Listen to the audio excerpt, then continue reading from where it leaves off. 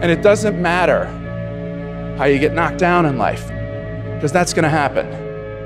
All that matters is that you got to get up. Fall down, get back up again. Fall down, get back up again. Fall down, get back up again. It ain't about how hard you hit.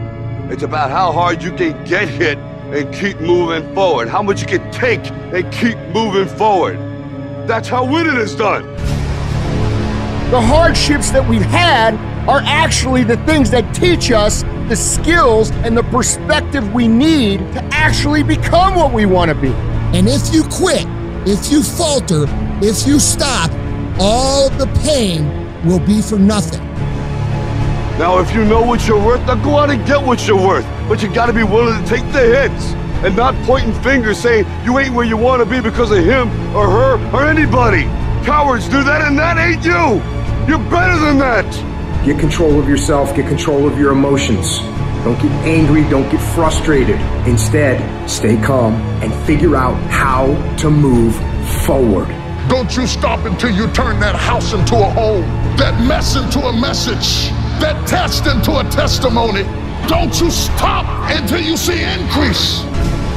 Whatever it is I want, this price is going to get much higher than this. It's going to get harder than this. And I've decided in advance it's going to be difficult, and I've decided in advance to stay in.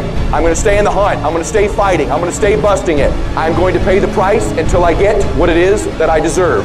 The people in life that win play offense, not defense. Stop backing into everything. Stand up. Bow your back a little bit. Start to walk a little different. Start to be that best version of you. You need to look yourself in the mirror and encourage yourself and say, I'm still gifted. I've been through some pain, but I'm still gifted. I've buried some loved ones, but I'm still gifted. I've had some setbacks, but I'm still gifted. You have to resolve yourself today that you're going to win, that you're going to dominate, that you're not average and ordinary. There has to become a point where you make a decision. We're going to dominate. We're here to win. We are not here to play.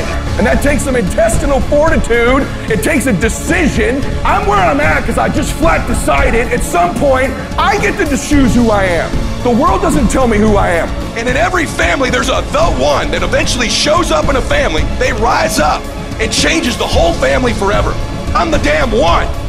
And in your family, you could be the one.